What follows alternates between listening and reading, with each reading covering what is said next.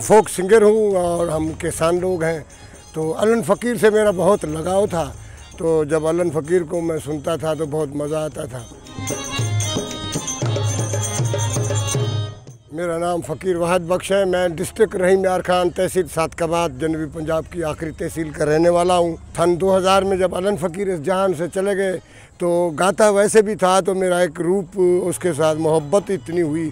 कि मैं अलन फ़कीर में समा गया और उसके दो चार कलाम इतने ज़्यादा तो नहीं गा सकता। वो इसलिए कि अलन फ़कीर बहुत बड़ा सिंगर था। लेजेंड यानी पसंदीदा पाकिस्तान क्या दुनिया का फनकार था। मगर फिर भी लतीफ़ साईं की मेहरबानी हुई कि हम कुछ न कुछ अलन फ़कीर का जितने भी कलाम हम कहते हैं तो उसी वक्त अलन फ़कीर समा जाता है। और मैं खुद समझता हूँ कि ये कौन गा रहा है। ये इस लतीफ़ साईं का मुआजा है।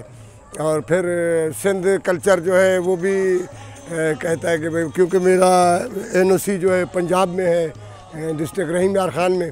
और पंजाब वाले जो है वो कहते हैं कि आप गाते सिंध का हो और प्रमोट भी सिंध को करते हो। मुझे आवाम पजीराई इतनी दी है और दे रही है कि मैं सारी ज़िंदगी इस, इस आवाम के लिए पाकिस्तान की भी खिदमत करता रहूँगा और बाहर जाके पाकिस्तान पहले भी मैं दो बार अमेरिका और पाँच बार इंडिया गया हूँ सूफ़ी फेस्टिवल में। वहाँ जाके हमने सचल सरमस्त और शाह अब्दुल लतीफ़ भिटाई रहमतुल्लाह का पैगाम दिया है।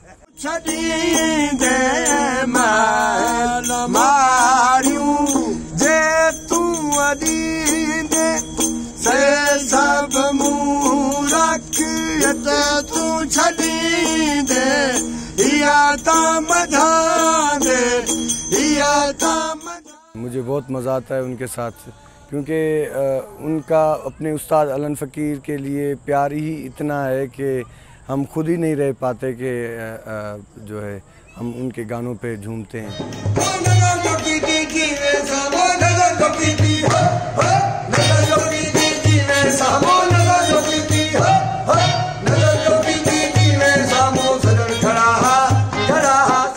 पैगाम है, ये इन पैगाम देते रहेंगे और सिंध कल्चर है, सिंध की भी खिदमत करते रहेंगे, पंजाब की भी करते रहेंगे, मगर अल्लाह ने तो हमें इस्लामाबाद एक तोहफे में दिया है।